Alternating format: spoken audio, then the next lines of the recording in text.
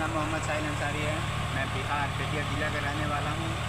मैं यहाँ जमशेदपुर, टाटा नगर में ऑक्सफोर्ड आईटीआई में ट्रेन ऑपरेटर का कोर्स कर रहा था और मेरा थ्योरी ख़त्म हो गया है और प्रैक्टिकल मेरा चालू है और आप देख सकते हैं, यहाँ पे हम प्रैक्टिकल करने के लिए आए हुए हैं।